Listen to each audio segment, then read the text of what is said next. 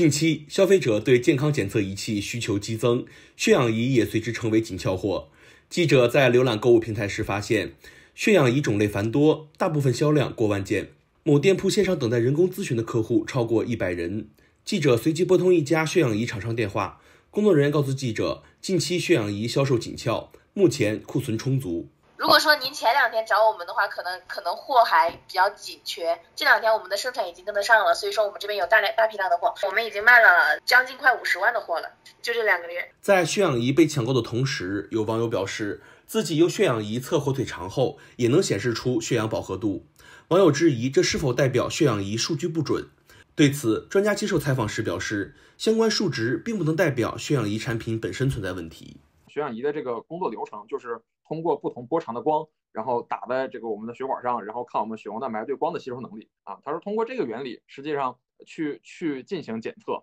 啊。那如果说我们给了他一个其他方面的东西，这个东西对于这个波长的光也有差别的话，那它可能就会报出一个数来啊。但是这种数对我们来说没有意义，不具有可解读性，它也不能说明这个仪器是好的还是不好的。专家介绍，评价一个医疗器械数据是否准确，大概可以从两方面考虑。第一个呢叫做敏感性，就换句话说，当你身体有异常的时候，这个机器能不能检测得出来？那第二个方面我们叫特异性，这个仪器说你缺氧的时候，你身体是不是在缺氧？啊，如果这个仪器现在说啊你缺氧只有百分之九十，但你实际上我们测个呃你换一个这个正常的机器，你实际上你血氧饱和度是没问题的，那么证明这个仪器特异性不可以。如果说这个仪器在敏感性和特异性这两个方面都没问题的话，那我认为它实际上就是一个合格的机器。专家同时也提醒，在购买血氧仪的时候，还是要注意其相关证件是否齐全。我觉得最简单的情况就是，如果你在呃，比如说各个购物平台，你去看呃有商品的详情页，如果它这个血氧仪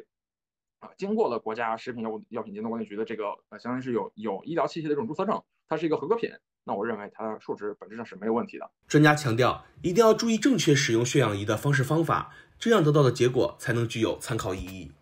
指甲油本身它就是一个吸光的东西，所以说呃，指甲油会严重的影响我们呃这样一个读数，然后同时也会导致我们这样一个读数变得不可信。呃，另外就是嗯，比如说如果手手手手上可能有一些污渍什么的，可能也会影响我们血氧仪正确的读数啊。然后再就是建议大家一定要换不同的手指头多测几次。啊，获得一个稳定的数值，这个数值才有意义。